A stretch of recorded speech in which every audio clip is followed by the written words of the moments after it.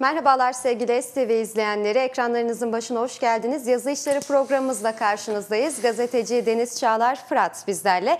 Sayın Deniz Çağlar Fırat'ın değerli yorumlarıyla Eskişehir gündemindeki gelişmeleri aktaracağız sizlere. Ee, öncelikle hoş geldin. Nasılsın? Çok teşekkür ederim Burcu. Sen nasılsın? Teşekkür ederim.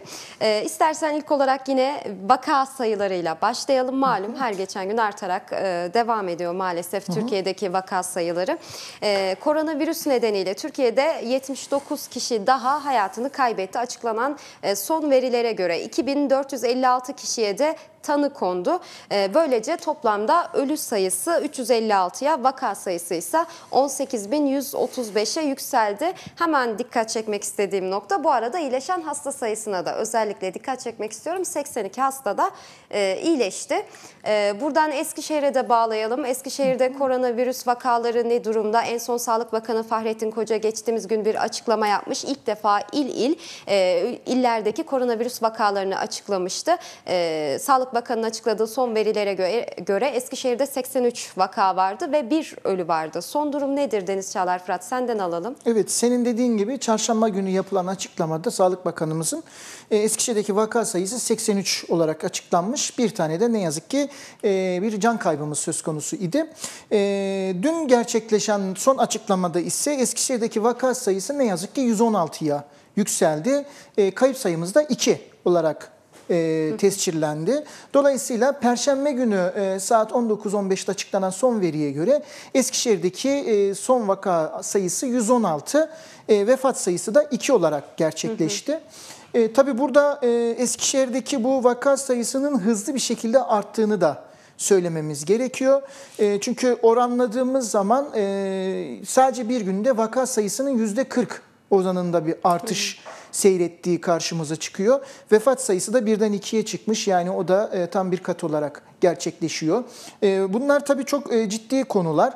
Ee, üzerinde özellikle durmamız gerekiyor. Çünkü Eskişehir'in yapısına baktığımız zaman e, üzerinde uzun uzun konuşmamız gereken bazı hususlar olduğunu düşünüyorum ama buna girmeden önce dilersen Türkiye'deki son vaka sayısının tekrar bir söyleyebilirsen evet. artış hızlarını bir karşılaştıralım hı hı. seyircilerimiz için. 2456 kişiye daha yeni tanı konmuş. Onunla birlikte son rakamla birlikte 18.135 kişiye yükselmiş. Önceki rakam kaçmış var mı elinde? Önceki rakam şu an e, maalesef. Yani benim yaptığım araştırmaya göre, ilk yaptığım araştırmaya göre Eskişehir'deki artış oranı Türkiye'nin biraz üzerinde seyrediyor. Hı hı. Ee, yani hemen hemen aynı seviyedeler aslında. Çünkü Türkiye'deki artış hızını çoğaltan metropol kentler Ankara, İstanbul özellikle İzmir. ve İzmir şehirleri e, nüfus çok yoğun olduğu için. Dolayısıyla bu artış hızlarına bakmak lazım. Benim e, demografik açıdan konuya yaklaştığım nokta bu. Eskişehir'deki artış hızı da yaklaşık yüzde 40, 39.7. Yani her gün yüzde 40 oranında bir artış açıklamış, açıklam, açıkladılar. Her gün demeyeyim ama bir iki gün oldu daha. Bugün artış oranına bakacağım ben özellikle. Eğer bu yüzde 40 seviyesi halen kendini koruyorsa ortada çok ciddi bir sıkıntı olduğunu anlamamız gerekiyor. Türkiye'deki artış oranlarına bakarak. Evet bu noktada sizin köşe yazınıza değinmek istiyorum. Geçtiğimiz günlerde kaleme aldığınız bir köşe yazısı vardı. Eskişehir'in nüfusuna değiniyordunuz. Hı. Ve Eskişehir'de yaşlı nüfusun çoğunlukta olduğuna dikkat çekmiştiniz. Çok ee, doğru. Bu durumdan baktı, bu açıdan baktığımızda da Eskişehir e, tehlikeli illerin başında geliyor. Bana göre öyle. Çok büyük bir risk demografik açıdan baktığımız zaman aslında sadece yaşlı nüfus açısından değil, kentte kilometre kare başına düşen kişi sayısı noktasında da Eskişehir'de ciddi bir hı hı. E, risk taşıdığını düşünüyorum. Biraz açayım izin verirsen. Tabii, Şimdi Eskişehir'in yaşlı nüfus son 2019 adrese dayalı nüfus kayıt sistemine bakarsak 65 yaş üzeri nüfusun 101.727 olduğunu görüyoruz.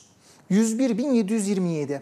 Bu rakam tek başına bir şey ifade etmiyor ama nüfusun geneline oranlarsak nüfusun %11.4'ünün yani %10'unun üzerinde 11.4'ünün 65 yaş üzeri olduğunu görüyoruz.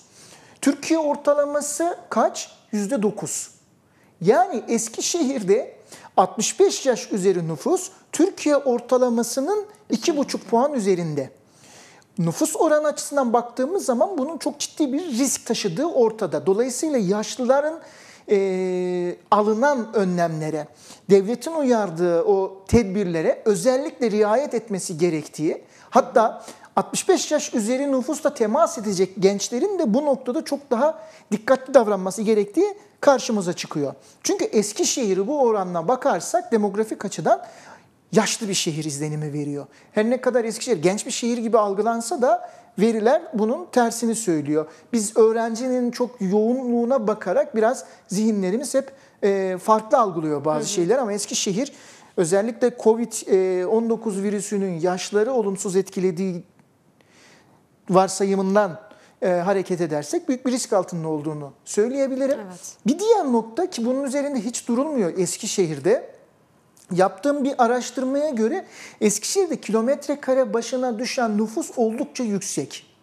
Şöyle, e, şimdi biliyorsunuz e, Türkiye'de kilometre kare başına düşen nüfus sayıları sürekli açıklanıyor. Evet. Sürekli bu veriliyor. Türkiye'deki oranda yaklaşık yüzde- 110 falan olarak çıkar. Eskişehir'de kilometre kare başına düşen kişi de 64 olarak açıklanır. Ancak bu bizi çok büyük bir yanılgı içerisine sokuyor. Neden? Çünkü Eskişehir nüfusunun %88'i toplam nüfusun %88'i kent merkezinde yani Tepebaşı ve Odunpazarı ilçelerinde yaşıyor. Yani hepimiz biliyoruz ki Eskişehir ilçeleri bomboş. Evet. Bomboş. Kilometre kare başına düşen insanı nasıl bu hesaplıyoruz? Toplam yüz ölçümüne toplam nüfusu oranlıyoruz. İlçeleriyle birlikte. İlçeleriyle beraber. Ama gerçek böyle değil. İlçelerde değil. Baktığımızda merkezde yoğunluk var, ilçeler boş kalmış. Boş. Aynen öyle. Dolayısıyla Odun Pazarı ve Tepebaşı ilçelerinde yaşayan bu e, insanlar kaç kilometrelik bir alanda yaşıyor? Toplam Eskişehir yüz ölçümünün %12'sine tekabül ediyor. Odun Pazarı ve Tepebaşı'nın alanı. Yani Eskişehir nüfusunun %88'i sadece toplam yüz ölçümünün %12'sinde yoğun bir şekilde hayatını sürdürüyor. Şimdi burası çok önemli. Şimdi rakamları vereyim. Risk taşıyor. Çok büyük risk. Odun pazarında kilometre kare başına düşen kişi sayısı 577. 577.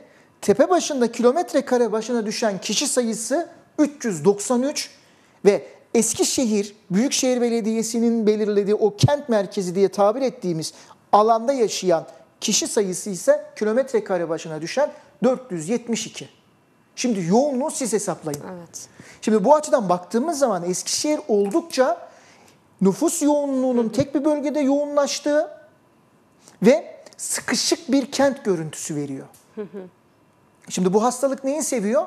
Teması seviyor. Evet. Bu hastalık yakınlığı seviyor. O yüzden uzmanlar ne diyor? Bakanlığın yapmış olduğu çağrı sosyal izolasyon diyor. Şimdi yakın durmayacaksın bir buçuk metre mesafede duracaksın diyor. Yaşlı nüfusu koruyacaksın diyor. E şimdi her iki açıdan baktığımız zaman Eskişehir çok ciddi bir şekilde Risk risk, taşıyan bir şehir haline geliyor. Bu noktada bireylere çok büyük görev düşüyor. Bir kere e, böyle e, elimizde somut veriler var. Eskişehir nüfusunun %11,5'u 65 yaş üzeri. Bu insanlar büyük bir şekilde gençlerle, hastalığı taşıyıcılarla temas edebilirler. Aman ha, korumak gerekiyor. Evde kal çağrıları burada çok önemli. İkincisi Eskişehir oldukça sıkışık bir şehir. Kent merkezine yoğunlaşmış. İşi olmadan hadi ben bir caddede turlayayım dedi. 10 kişi dedi. Caddeye çıktı o 10 kişinin 9'unun karşılaşma ihtimali çok yüksek. Çünkü daracık bir kent. Adalar, doktorlar, Kızılcıklı, Hamam yolu, 2 Eylül Caddesi. Kesişiyorsun Evet. kesişiyorsun. Dolayısıyla hastalık, virüs diyelim daha doğrusu teması seviyor. O yüzden evde kal çağrıları Eskişehir için çok daha anlamlıdır diye düşünüyorum. Hemen bu noktada birkaç gündür e, şehirdeki e, sokaklardaki kalabalıklara siz de şahit olmuşsunuzdur. Ne yazık ki. E, maalesef son zamanlarda e, sokakları çok kalabalık görüyoruz. E, evde kalın çağrılarına artık kulak asmıyor mu Eskişehirliler yoksa e, sıkıldı mı vatandaşlar? Şimdi tabii neden olduğunu bilmiyoruz. Bununla ilgili bir saha çalışması yapmadık. Bir yapmak lazım aslında. Hani bir e, sokağa çıkanlara sormak lazım en azından 50 kişiye. E, neden sokaktasın diye. İşi için mi gidiyor? Gezmek için mi gidiyor? Bunları bir ayırmak lazım. Ama ilk izlenimimiz şu. işi dışında gezmek amaçlı gerçekten çıkan bir kitle olduğunu gözlemliyoruz. Maalesef, kesinlikle. Ha bu bir izlenim. Yani bu bir gözlem. Doğruluğunu bilmiyoruz. Sormadık. Çünkü şimdi evde kal çağrılarının hep altını çiziyoruz. Karşılık bulması için o insanların temel bir takım ihtiyaçlarının karşılanması lazım. Bu programda seninle de daha önce bunları altına çizmeye çalıştık. Gelirlerinden muaf kalabilecek Evet. insanlar, giderleri var, işte ev ihtiyaçları var. Bunları bir şekilde sağlamak zorunda. Bu insanlar sokağa çıkmak zorunluluktan dolayı mı çıktılar? Yoksa hani keyfiyetten mi çıktılar? Bunun üzerinde durmak lazım. O yüzden çağrıları buradan daha ısrarlı ve sık yapmak lazım. Az önce yapmış olduğumuz riskleri göz önünde bulundurarak. Zorunlu olduğu için sokağa çıkmak zorunda kalan insanlara saygı gösterelim. İşimiz yoksa bizler çıkmayalım. Çünkü Eskişehir ciddi anlamda yani bakıyorum ben ben zorunluluktan günde iki kere sokağa çıkıyorum. Zorunluluktan. E, ve gerçek anlamda söylüyorum. Bu evde kal çağrıları yapılmadan hemen hemen aynı seviyede bir yoğunluk görüyorum kent merkezinde.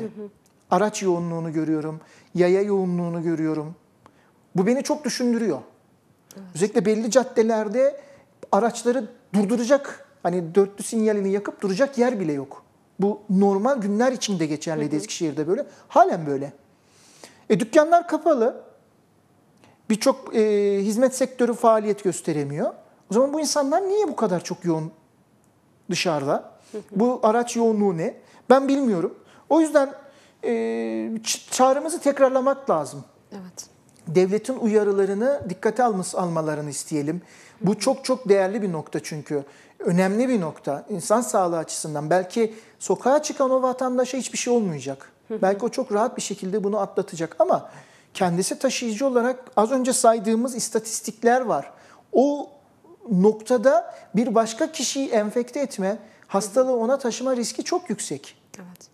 Sadece kişinin sorumluluğunda değil, başkalarının sorumluluğuna da taşıyor o kişi aslında. Tabii yani e, yanlışlıkla birisiyle dokundu, e, ona geçirdi, kendisinde hiç semptom yoktu. O geçirdiği kişi bu noktada ağır bir rahatsızlık geçirdi. Belki de yani kalıcı bir etki kaldı ya da yaşamını yitirdi.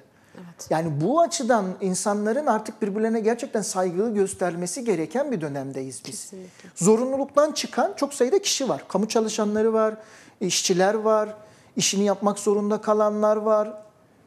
Yani bir zorunluluktan dolayı çıkanlar var. E bunlara saygı gösterelim en azından.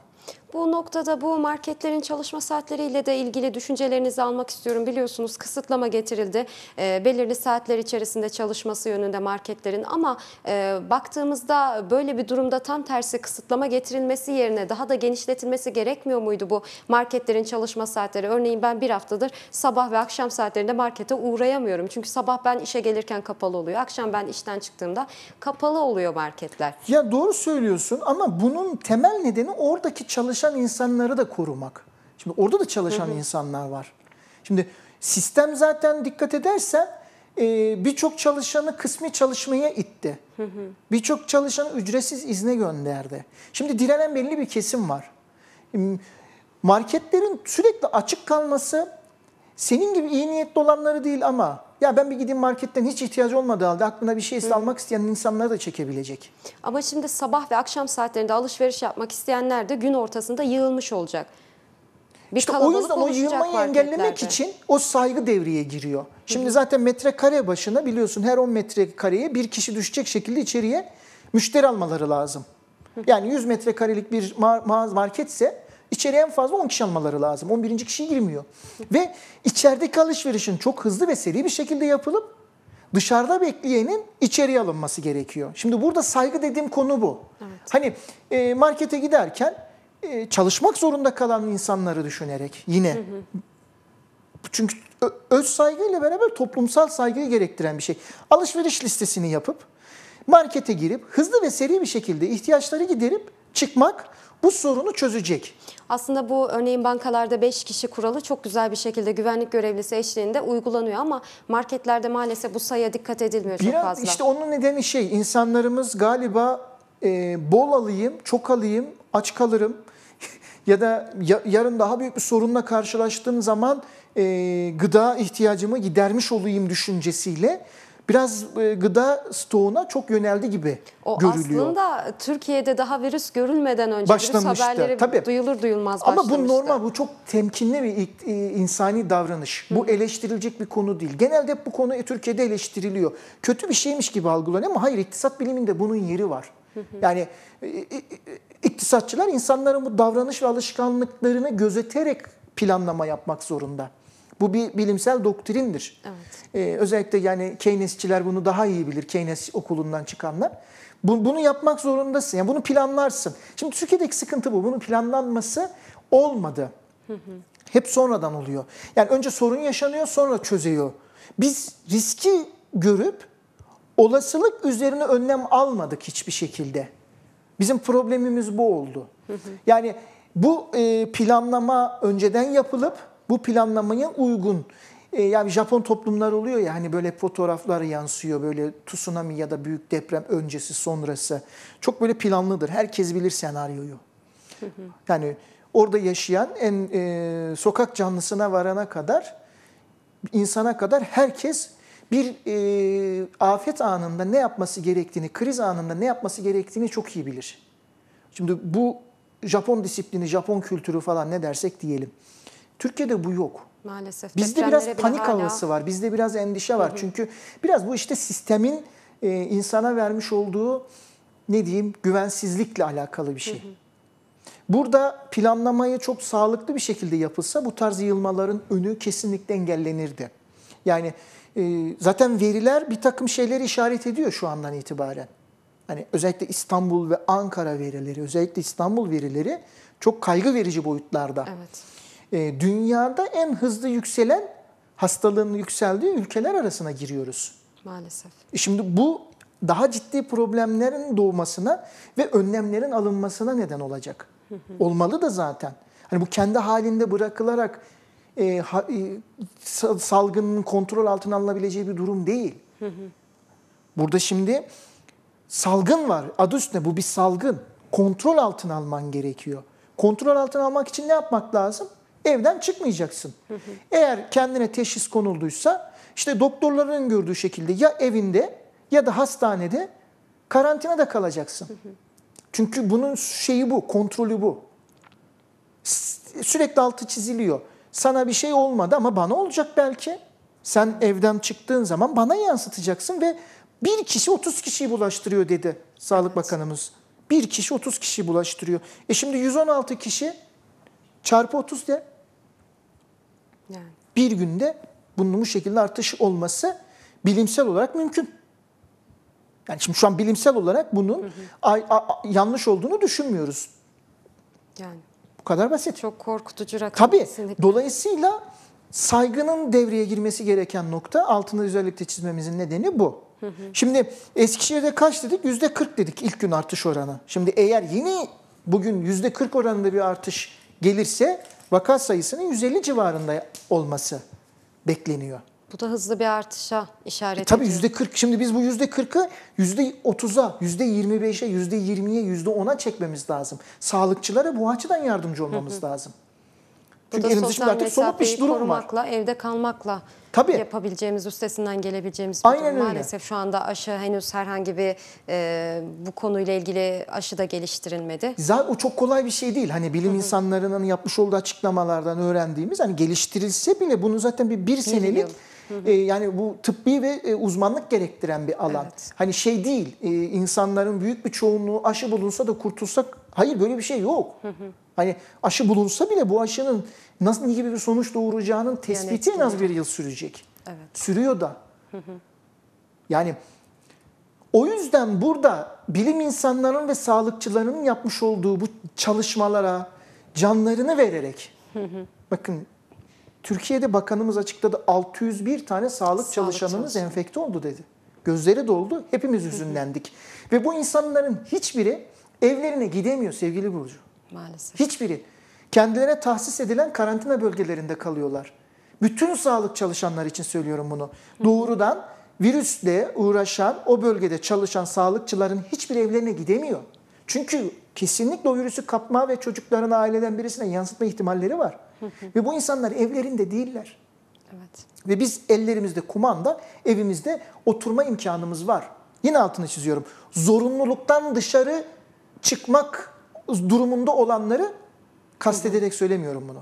Evet. Ve e, böyle bir durumda bile hala sağlıkçılarımıza yönelik şiddet görüyoruz. E, özellikle bu virüs olaylarından sonra e, pek çok haberlere de yansıdı bu konular aslında. Sağlık çalışanlarının e, mahallede istenmediği, apartmanda istenmediği, sen virüslüsün şeklinde e, bir böyle Ben mobbing, sözlü mobbing yöneticisi uygulandı. olsam imza toplarım. O davranışı sergileyen bireyleri apartmandan atmak için hukuki bir yola başvururum. Açık ve net söylüyorum bunu. Yani bu insanlar canlarını vererek Evet. salgını önlemek için uğraşıyorlar ve tedbirini al arkadaşım. Tedbirini al. Ya bi- bizim ülkemizde maalesef yapılan işlere hiçbir değer verilmiyor. Bu- o- dünyada çok kutsal meslekler vardır. Dünyanın neresine giderseniz gidin yapabileceğiniz mesleklerdir bunlar. Sağlık alanı bunlardan birisidir. Yani siz Türkiye'de sağlıkçısınız gidin Endonezya'da da sağlıkçı olursunuz. Ve dolayısıyla bu kutsal bir meslek Kadir. Dünyanın her yerinde geçerlidir.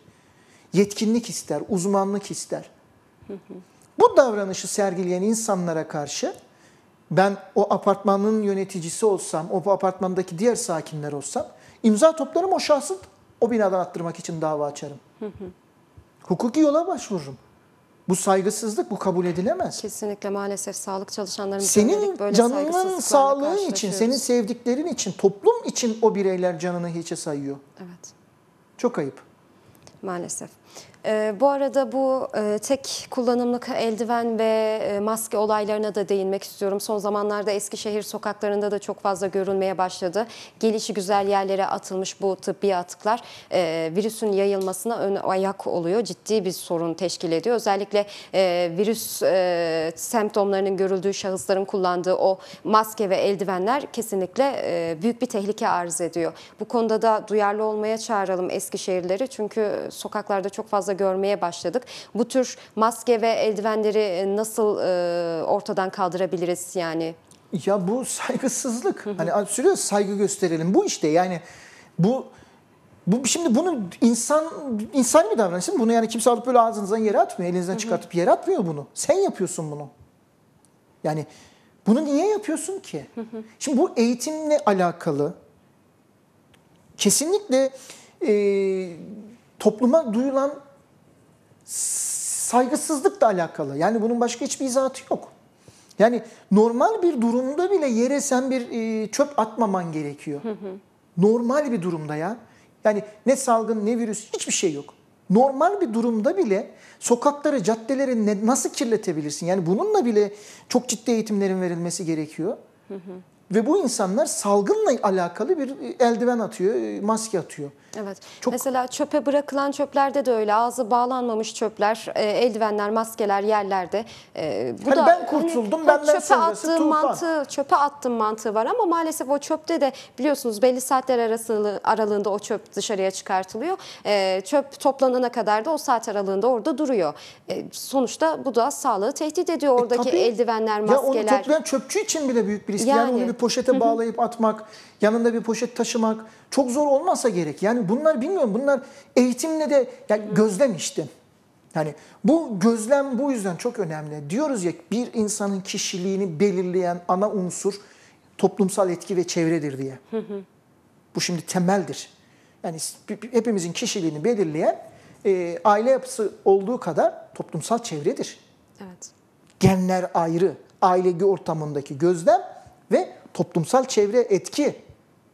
Şimdi bu toplumda bu davranışların normalleştirildiğini gören bir birey, genç bir birey, yaş aldıkça onun zihni de o tarz olumsuz davranışları normalleştiriyor. Ve bunu normal algılıyor, atıyor, atıyor. Çünkü sokak onun. Yani öyle bir şişmiş egosu var ki bu arkadaşın. Ya bu kabul edilebilir bir şey değil. Birlikte yaşama kültürünün eksikliği bu. Benden sonrası tufan anlayışının bir başka versiyonu. Saygı çok önemli sevgili Burcu. Kesinlikle. Yani hiç kimse kendisine yapılmak istemediği bir davranışı bir başkasına yapmamalı. Kesinlikle. Ama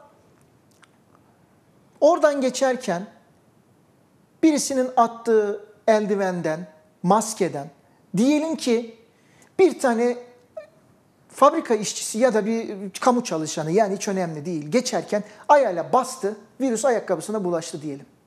Yürüdü evine geldi virüs ayakkabısıyla eve girdi diyelim.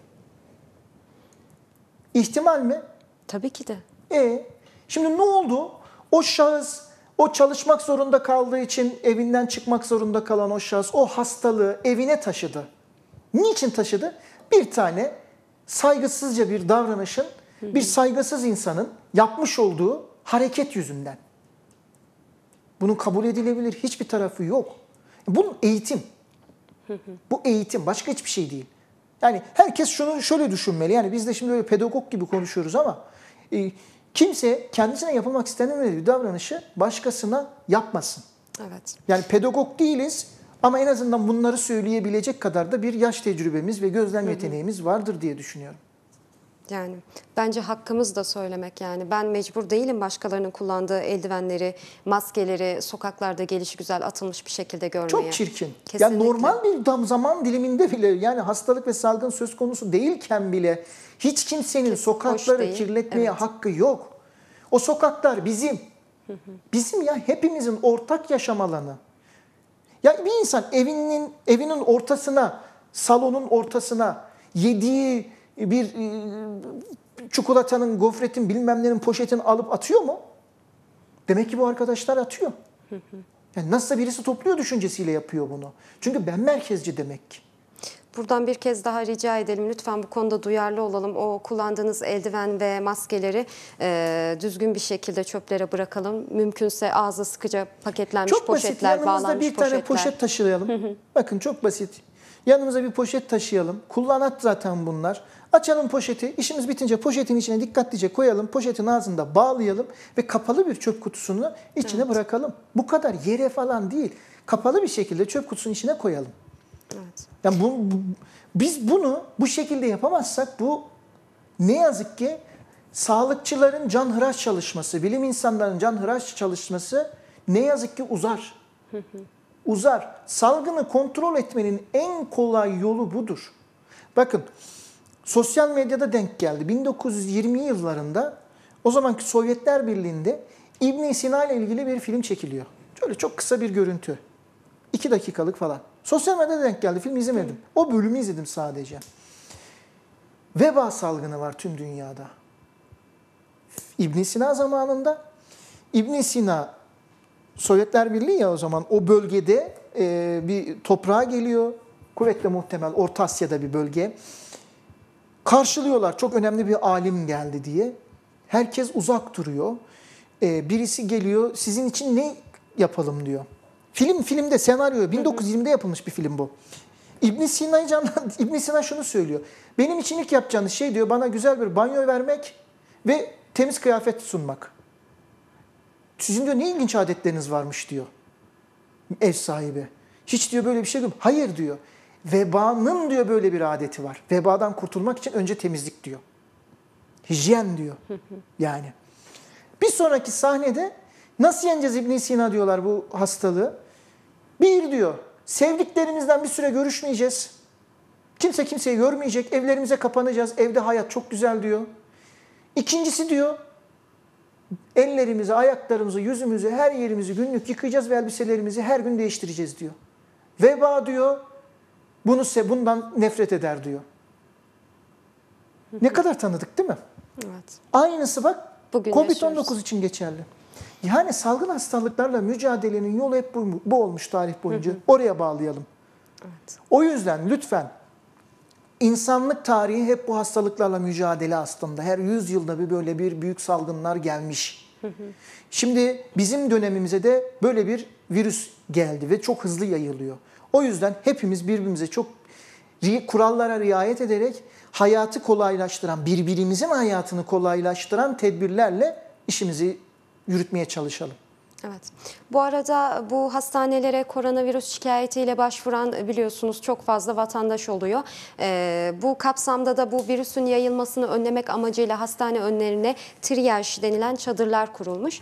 Ee, bu vakaları e, koronavirüs şüphesiyle giden vatandaşlar bu triyaj denen çadırlarda e, tedavi altına alınıyormuş. Burada e, test, Tabii, ya zaten- gerekli testler yapılıyormuş. Ee, yurt dışına da böyle olmuştu zaten. Çin'de falan da gördüğümüz görüntüler böyleydi. Sonra İtalya'da, İspanya'da da böyle gördük. Şimdi Türkiye'de de aynı şeyler yapılacak.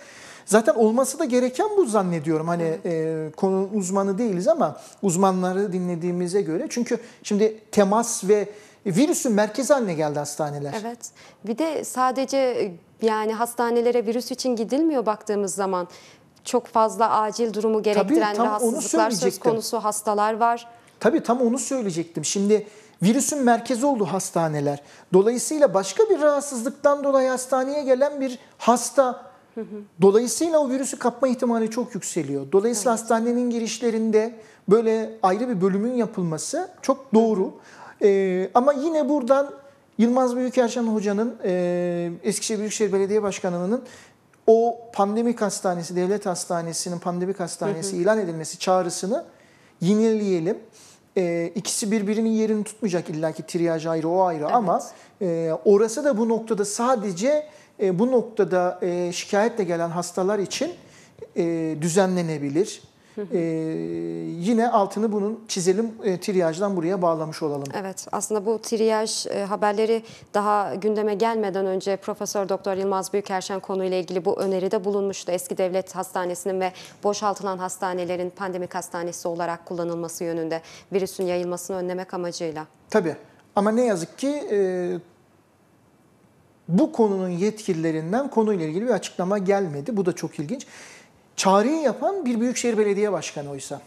Hani bunu rastgele birisi yapmıyor. Bir Deprem kentin büyükşehir riskli belediye başkanı yapıyor. Bina olduğu yönünde bir açıklama yapılmıştı ama Nasıl? deprem riski e, taşıyan binalar olduğu gerekçesiyle kullanılamayacağı yönünde bir haber gündeme gelmişti. geçtiğimiz Sadece gündeme ama- geldi ama yani şimdi e, işin detayı çok derinlemesine verilmiyor. Konunun yetkilisinin, uzmanının çıkıp bu noktada kamunun birçok şu an atıl pozisyonda bekleyen binalarının bu anlamda kullanılabileceğini açıklaması lazım. Yani çünkü bu çağrıyı yapan kişi kentin Büyükşehir Belediye Başkanı. Bu kentin %55'inin 60'ının oyunu alan bir şahıs. Çok büyük işlere başarı Tabii yani imza atmış. dolayısıyla e, konunun masaya getirip tartışılması ve konuşulması büyük önem arz ediyor. E, çünkü bu toplum sağlığını ilgilendiren bir şey. E, triyaj çadırlarının kurulmasının yanı sıra bu tarz kamudaki atıl durumda kalan binaların da bu amaçla hastanelerin devreye sokulması elzemmiş gibi görünüyor şu an. Evet. Bu triyaj çadır kurulma olayı da ilk olarak Eskişehir'de başlatılmış şu an. ESOGİ Tıp Fakültesi'nin bahçesinde kurulmuş bu çadır 81 ilde de hayata geçirilecekmiş. Evet. Bu arada Sanayi Odası'nın yapmış olduğu son ankete de değinelim. Koronavirüs beklenti eğilimi anketi ve sonuç raporu adı altında sanayicilerin e, görüşleri alınmış. E, bu anketin sonuçları ile ilgili neler söylemek istersiniz? Neler söylüyor sanayicinin beklentisi ne, görüşleri ne bu konuda? Şimdi tabii e, burada e, bir hususun altını çizmek gerekiyor. Eskişehir Sanayi Odası e, bu salgın eğilimi ortaya çıktığı andan itibaren konuya çok bilimsel bir temelle yaklaşıp hemen anında Eskişehirli sanayicilerin eğilimlerini belirleyen anketler yaptı.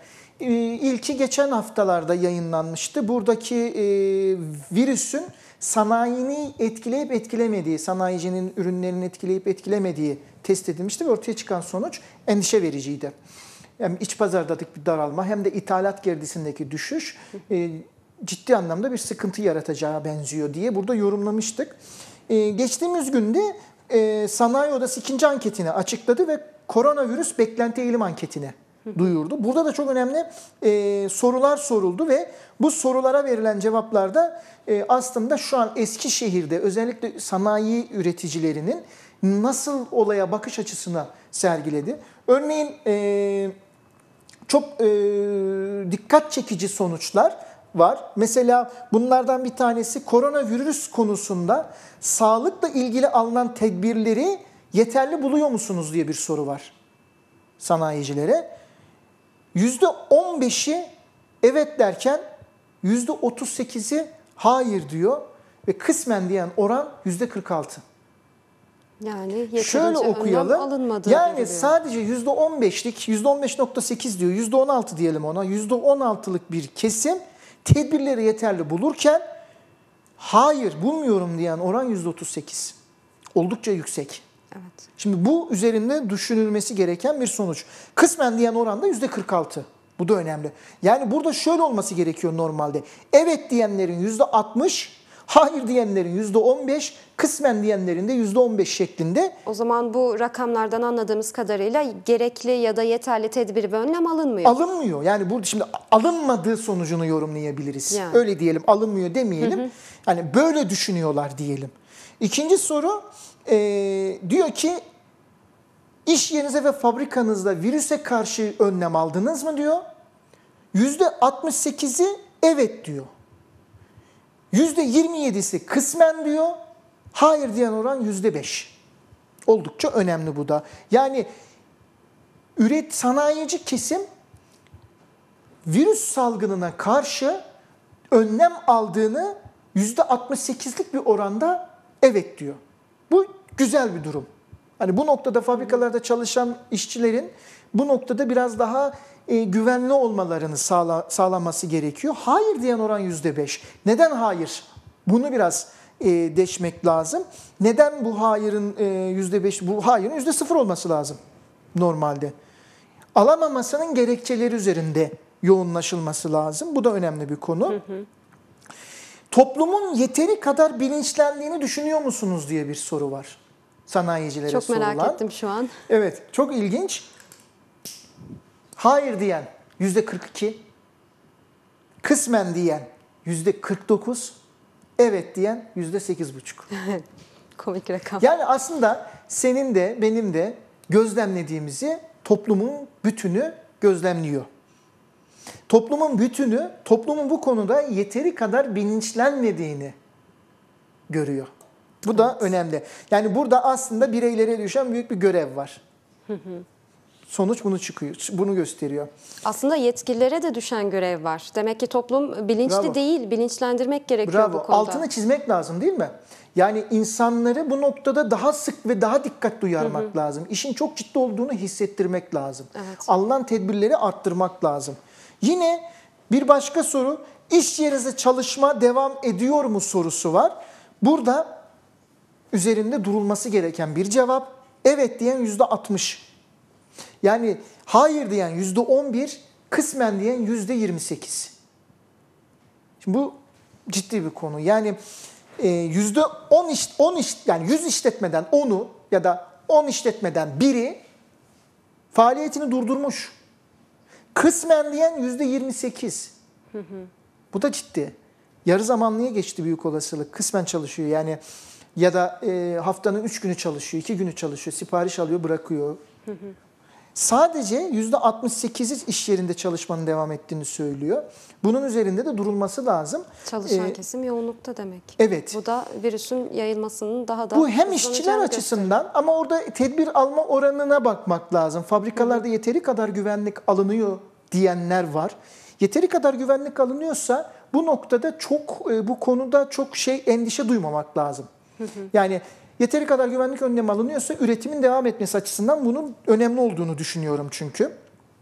Yine e, en önemli soru alınan ekonomik tedbirleri yeterli buluyor musunuz sorusu. En önemli konu bu. Çok merak ettim. Kısmen diyenler yüzde 26 buçuk. Hayır diyenler yüzde 65. Evet diyenler yüzde 8. Bu çalışan kesimle yapılmış bir anket. Evet, Yani evet. Yani alınan ekonomik tedbirleri ne yazık ki Eskişehirli sanayiciler yeterli bulmuyor. Hep altını çiziyoruz. İnsanların üretime devam edebilmesi ve sağlıklı bir şekilde salgının denetimli ve kontrollü bir şekilde kontrol altına alınabilmesi için devlete düşen çok büyük görevler var. kesinlikle. Toplumsal algı bunun tersini söylüyor.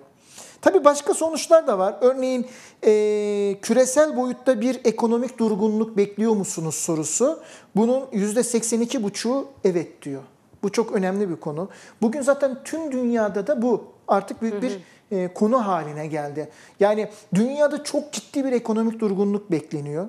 Neden ekonomik durgunluk diyoruz? Çünkü harcama, tüketim ve üretim birbiriyle çok doğrudan ilişki konulardır.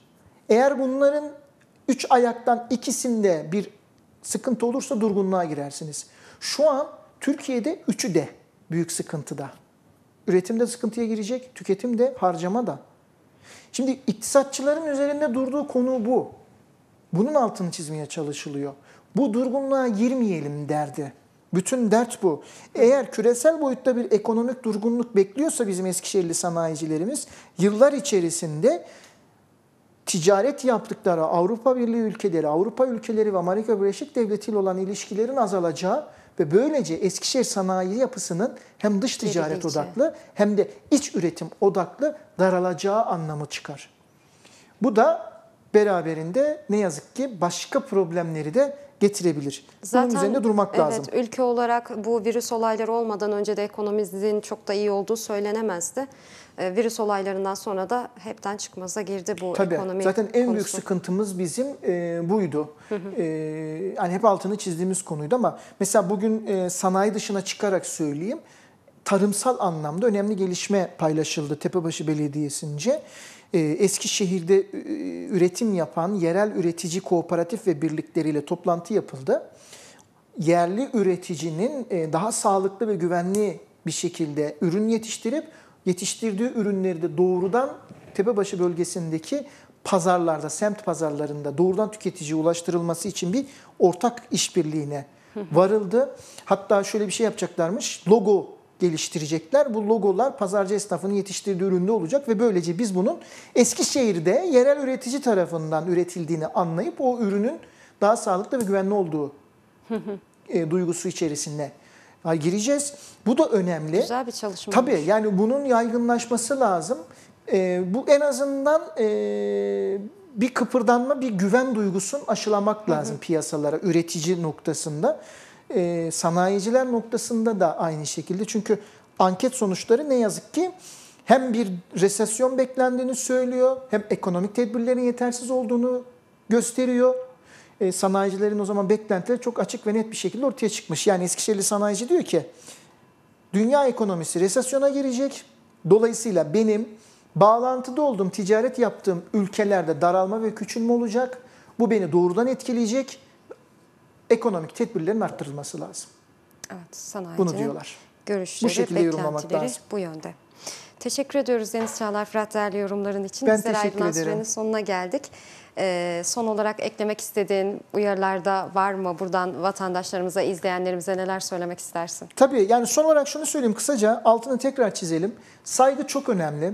Eskişehir demografik açıdan ve kent dokusu açısından e, salgının yayılması ve enfekte edeceği birey sayısı açısından oldukça riskli kentler arasında yerini koruyor. E, dolayısıyla Eskişehirlilerin bu konuda çok hassas olması lazım. Lütfen evde kalalım. Zorunlu olmadıkça çıkmayalım. E, zorunlu halde çıkanların da bütün tedbirleri alarak çıkması gerekiyor.